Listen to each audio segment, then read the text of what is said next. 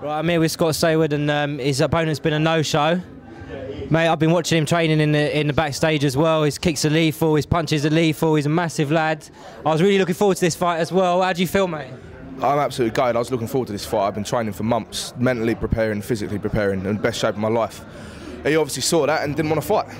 Uh, do you say any, you went to fight him before? Is that right? Uh, my first professional fight for UCMMA 27 was, uh, yeah, the UCMMA 27 was lined up with Marian Rusu, and he phoned Dave and said that he didn't want to fight me because I'm too big and he wanted a bit of an easier fight first. I fought on that show, I won in, uh, by TKO. Then I fought on the next show and I lost, unfortunately. And he must have seen me lose because he phoned Dave and asked for the asked for the fight again and he's asked for the fight, turn up to the weigh-ins, seen I'm in better shape, and then melted consequently. Dropped out, dropped out. I see everybody running around going mad about it. Now just tell us a bit about your background, mate.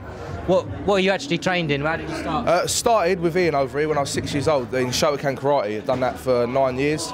Nine years. I basically trained with Ian, Charlotte, Stephen, and Shane my whole life. Been training karate, then uh, moved on to Sanshou and boxing with Ian and then uh, found MMA at the age of about 16, 17. Been training that ever since. Excellent, excellent, mate. So you're an independent fighter. Independent fighter, fighting, um, training at Karma Gym in Erith with uh, John Gunnar. Big thanks to him, and training with Brute Camp.